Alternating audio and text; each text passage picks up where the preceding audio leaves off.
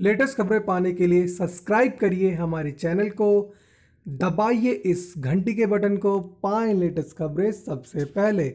झालावाड़ के खानपुर में बाढ़ के हालात। मौसम विभाग ने प्रदेश में भारी बारिश की दी चेतावनी जयपुर।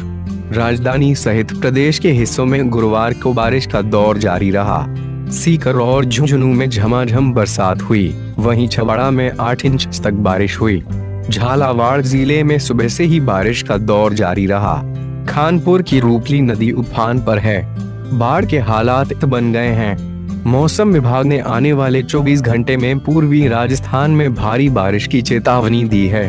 वहीं प्रदेश के अन्य हिस्सों में बारिश की संभावना जताई गई है। जयपुर में छितराई बारिश का दौर जारी है। शहर में कहीं तेज तो कहीं तेज बारिश हुई।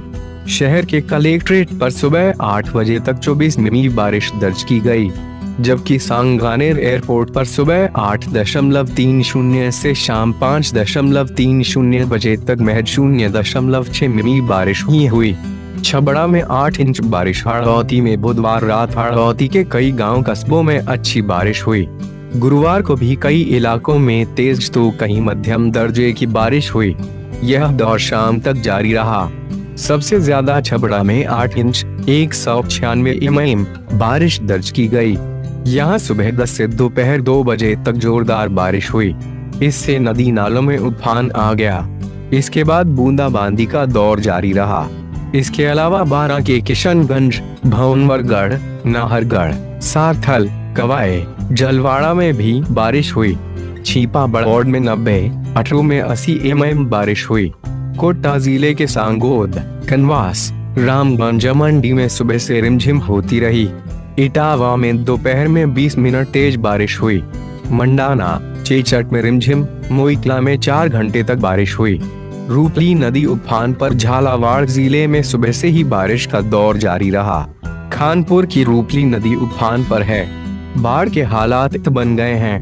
प्रशासन निपटने की तैयारी में जुटा है। नदी में उफान से सूमर सहित आसपास के क्षेत्रों का संपर्क कट गया है।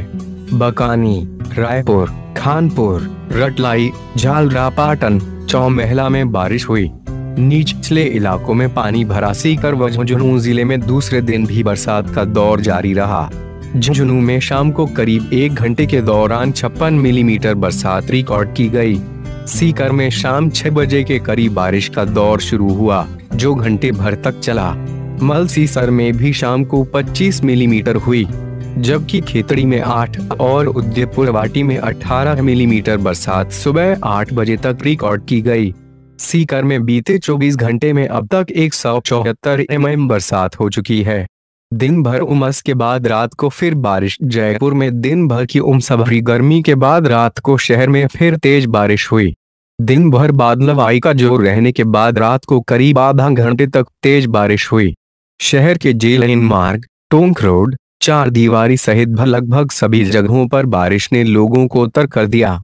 खुली दावों की पाले शहर के कई इलाकों में आज तड़के हुई बारिश ने नगर निगम के दावों की पौल खोल दी।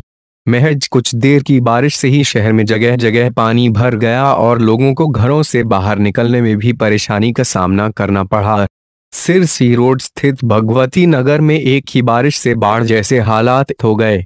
जेडीए की सेक्टर रोड के अधूरे कार्य की वजह से कनकपुरा रेलवे गोदाम के पास इस कॉलोनी की ओर ढलान होने के कारण सारा बरसाती पानी कॉलोनी में घुस गया, जिससे लोगों के घरों के चारों ओर पानी भर गया।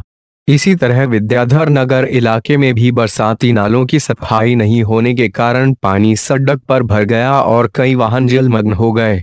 इस दौरान स्थानीय पार्षद दिनेश कांवट और उनके सहयोगियों ने कई वाहन चालकों के वाहनों को धक्का देकर पानी से बाहर निकाला।